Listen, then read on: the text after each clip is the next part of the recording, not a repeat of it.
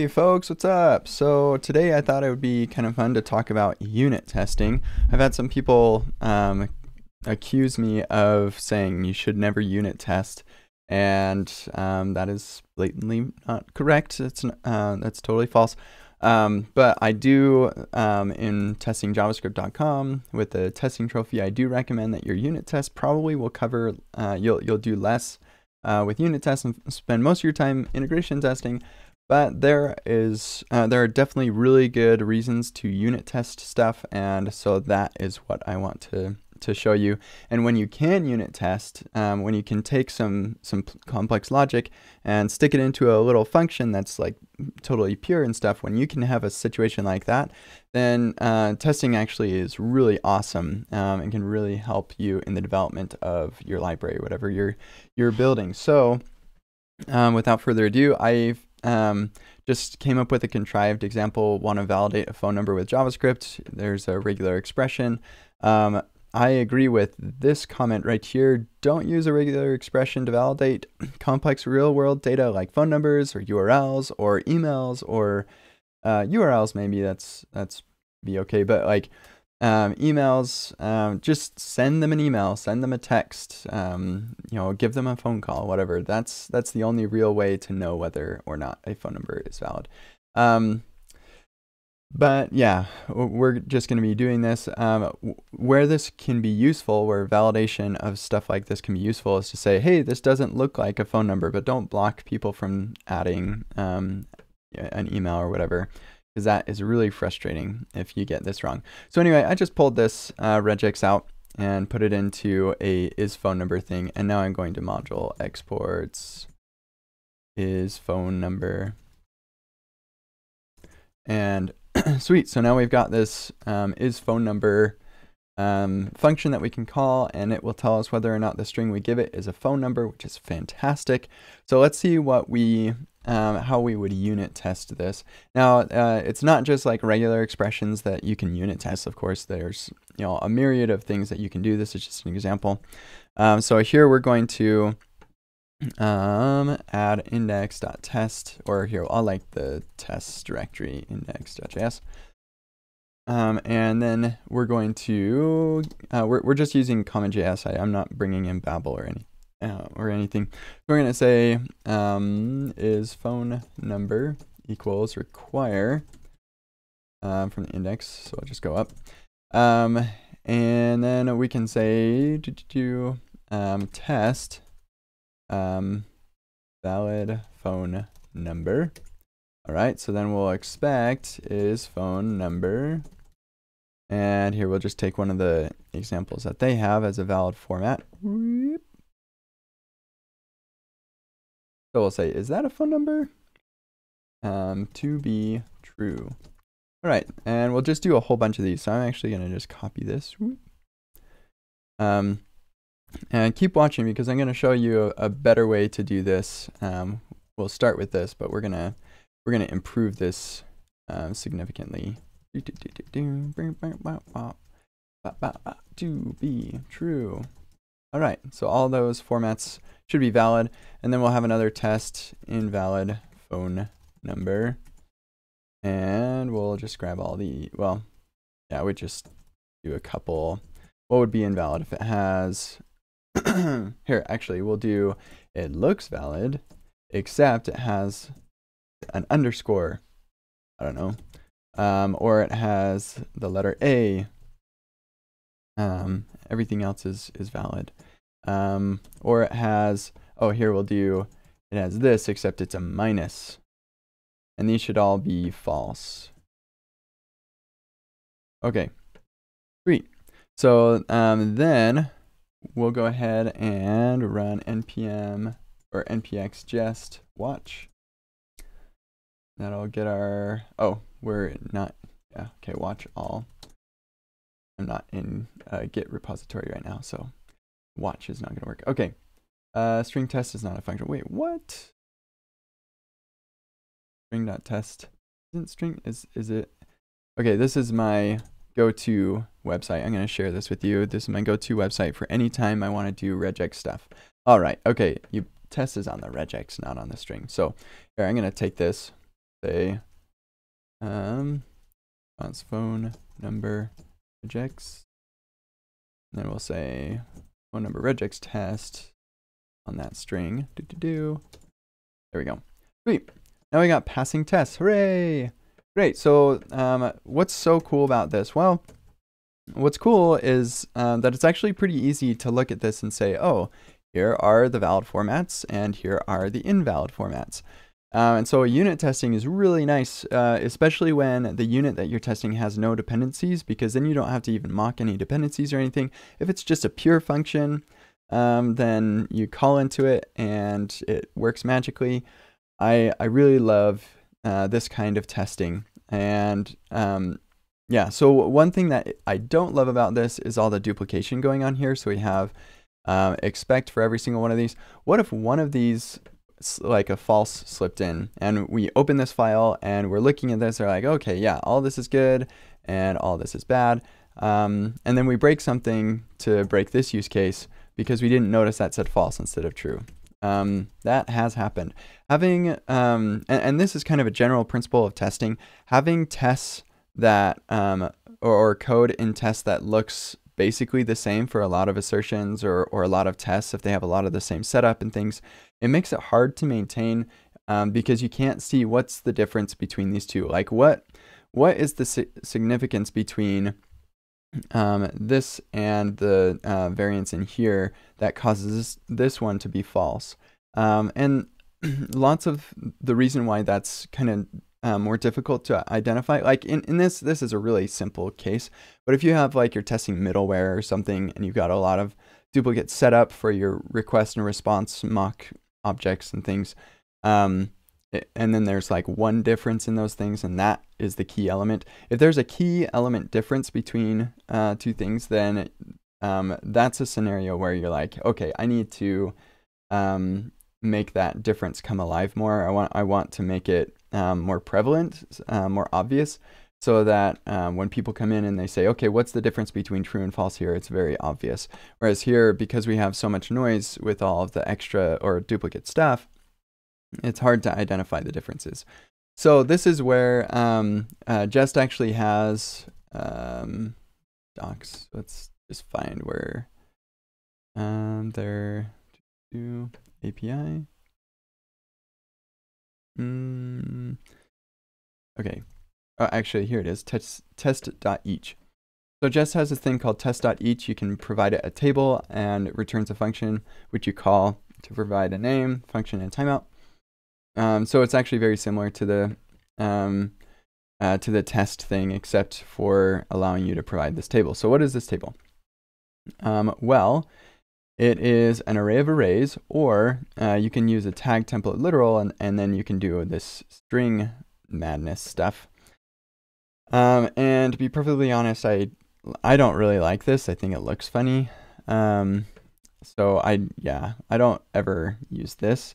And I don't like the array of arrays because um, I think that also looks kind of funny. So I don't use that either.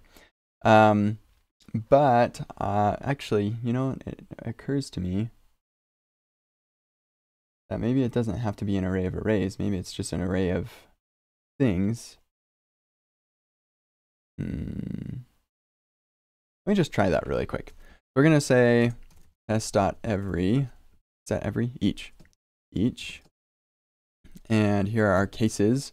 And we'll say, um, here actually, we'll, we could probably just insert the value itself here. And then we'll um, call that, right, with valid phone number. Then we give it our phone number. And we'll expect that to be true. And then we'll pass the phone number in here. Do, do, do, phone number. Let's pop open our test. Sweet. Okay. So um, I'll, I'll show you the, the thing I was planning on showing you later. But now what we can do is we could say, here, let's extract all this. We'll say valid phone numbers as valid phone numbers equals that. Then I'm going to actually just do this.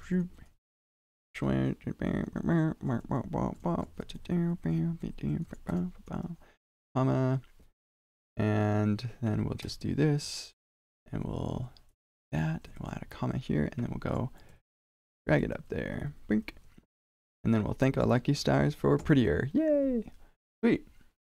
Um, and it looks like it's it has a unique test name for each one of those. So let's see, they have a mechanism by which you can insert things. So we'll say percent percent i is a valid phone number. Sweet. And nan, hmm.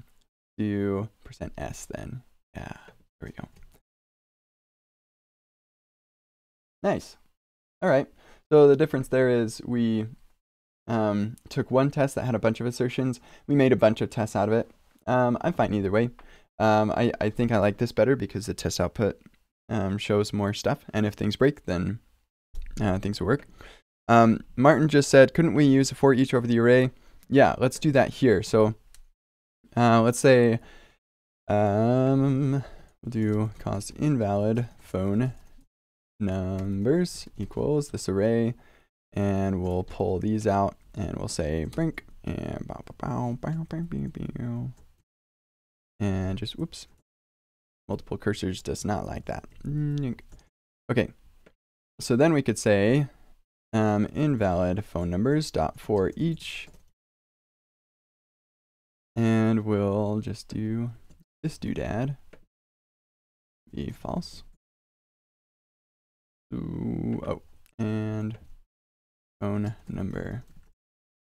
There, sweet. So that works. So let's look at the difference here. With this one, we see the uh, the phone number in the test name. And the nice thing about that is if we did something, it's going to be hard to, to actually break the regex because I don't understand what that regex is doing. So uh, what I'm going to do is I'm going to break the input instead. So if I break this, then I'm going to get an error uh, that says, hey, this is a valid phone number. That's what we expected, but it's actually not. So you need to either fix this or fix the um, code so that it does. So um, that's the error message we get there.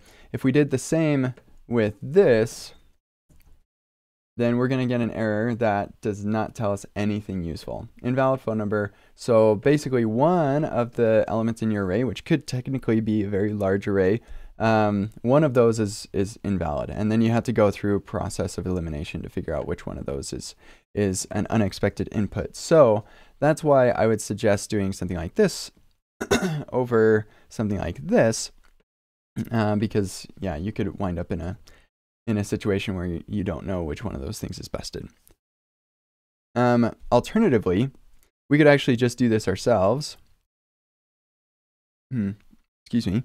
Um, and then we could say template literal here and phone number is an invalid phone number.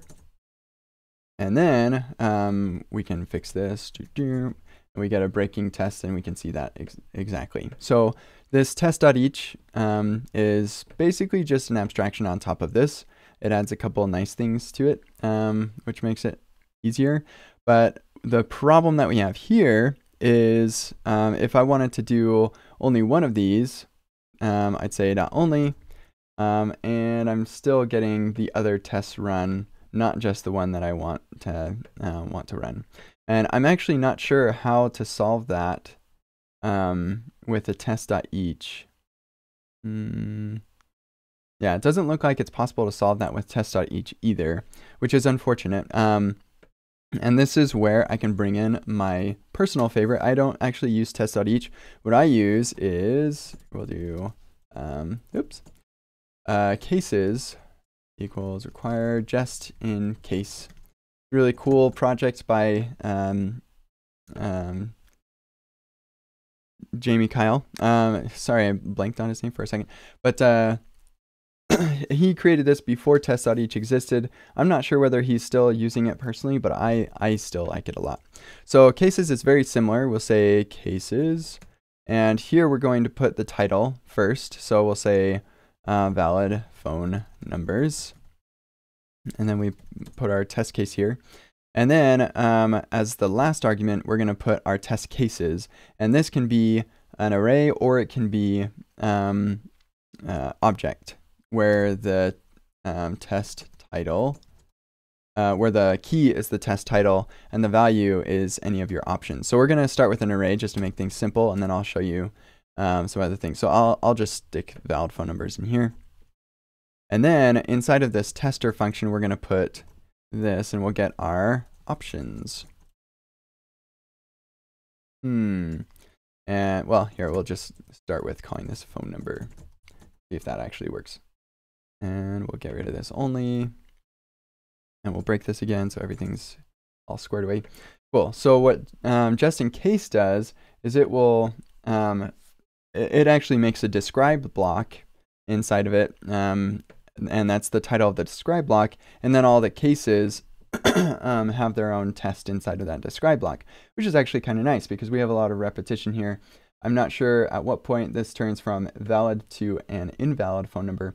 And so, well, I mean, I have to look carefully, but with this very clear separation, it makes that a lot easier. So I can say now, um, we'll just do the same thing, cases, and we'll say invalid phone numbers, invalid phone numbers, and to be false. And now it's a lot easier to see that separation.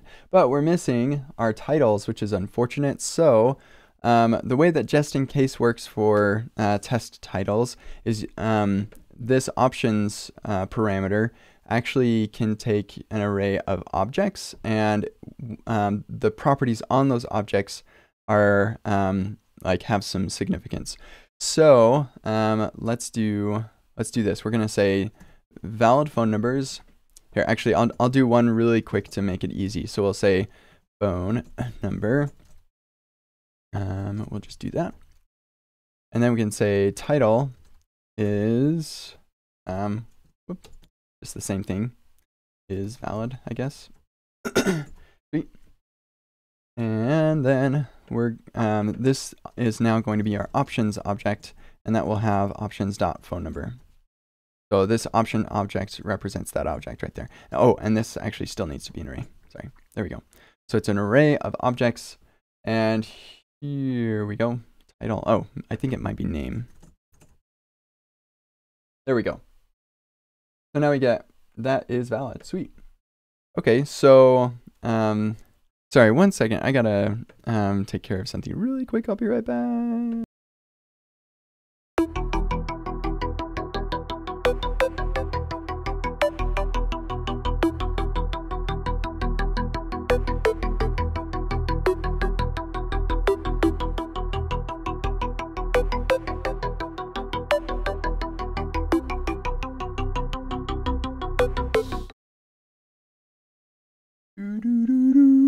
I'm back.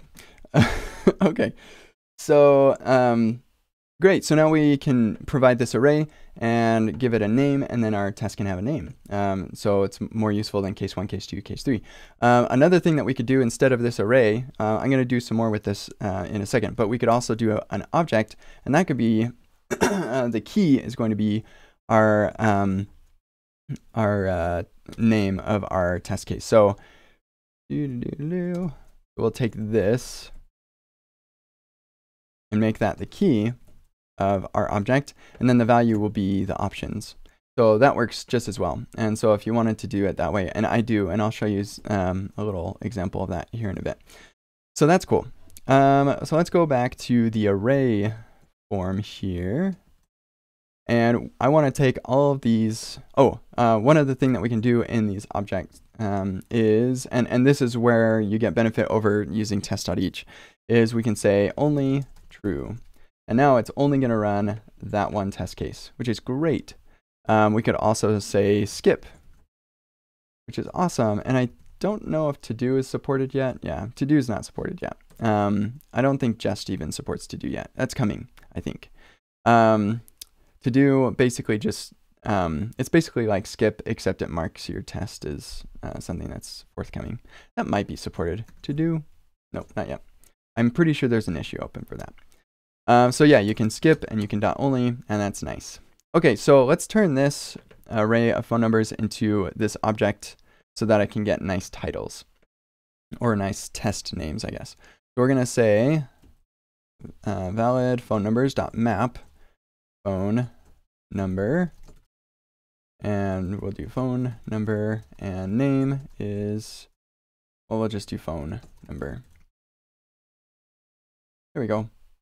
Valid phone numbers. Woo! There's our list of val valid phone numbers. And we can do the same thing. We'll just do this same map magic.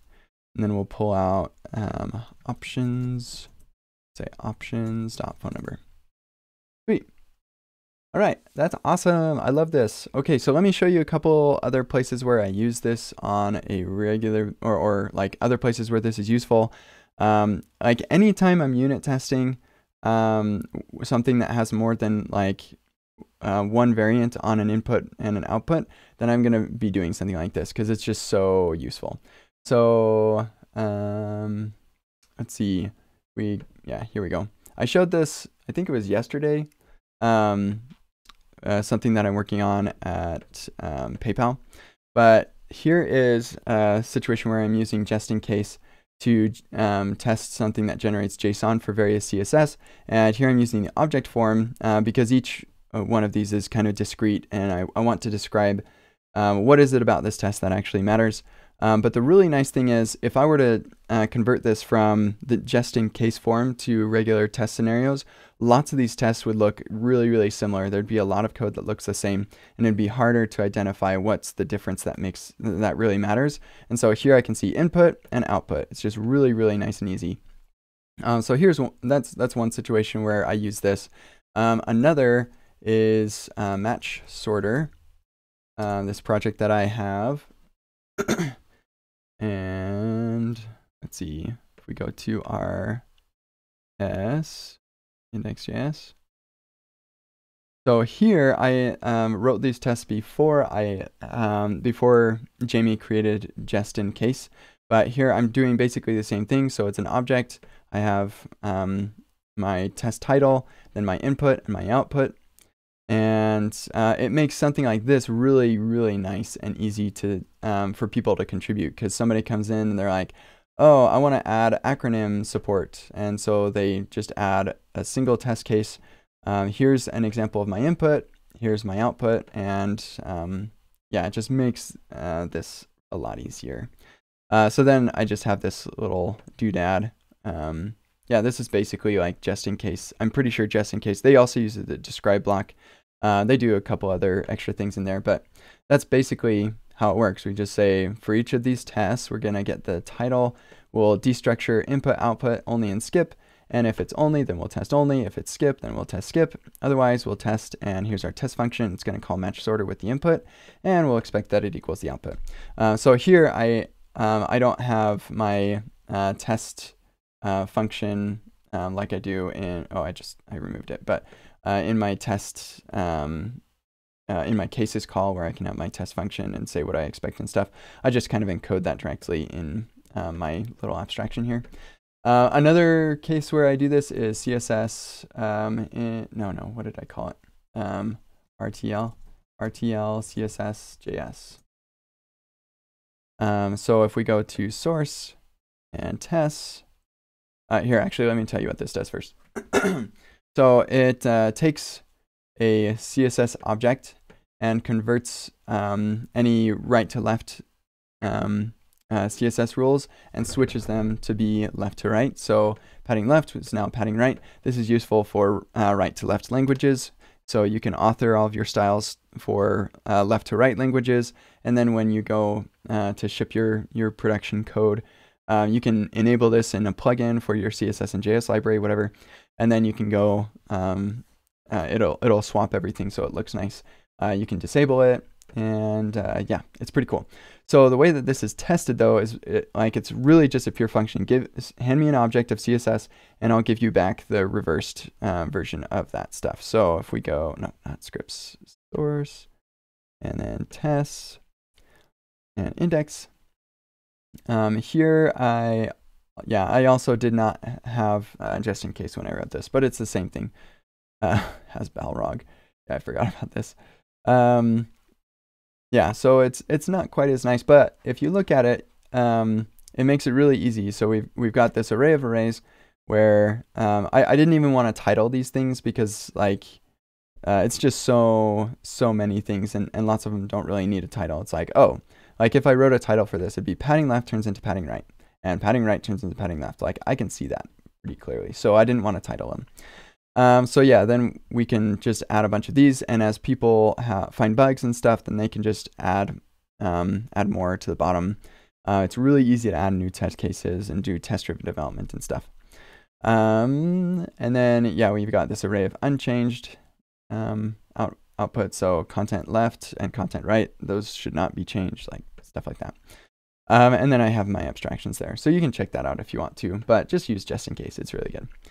Um, yeah, I think that was pretty much everything I wanted to share with you. Um, jest-in-case is awesome. Uh, looks like it hasn't been updated for like a year. Um, so it's pretty stable. Um, I've been using it for a long time and I love it. So yeah. Does anybody have questions or anything? How is uh, Jest different from Cypress? So uh, Jest runs in Node, and not in the browser. Cypress runs in the browser. That's a pretty significant difference. Um, and I, I recommend using Jest for your unit and integration tests, and Cypress for your end-to-end tests, uh, and then static testing with ESLint and Prettier and Flow or TypeScript. Um, and you can take my course at testingjavascript.com because it's great. I'll go ahead and post a link for you because I'm nice like that. Um, and that's it. That's all I wanted to share with you today. I hope that was entertaining and interesting and helpful. And uh, yeah, unit testing is great. Um, you, you could use jest-in-case, even if your unit has dependencies, you can do mocks and everything still works uh, just fine. And I, I have done that on occasion. Um, and uh, yeah, unit testing is awesome. Uh, I tend to spend most of my time in integration tests because that's where I get the most bang for my buck. But um, I, I'm not going to integration test every variant of possible um, inputs and outputs for this phone number. I'll, those are a bunch of edge cases and stuff, so I'll unit test all of that, and then I can integration test the more common uh, common cases and just use the same phone number every time because I have confidence for my unit test. Um, so yeah, I'm gonna jump out. This was fun. I hope you have a nice day and I will see you all later. Bye.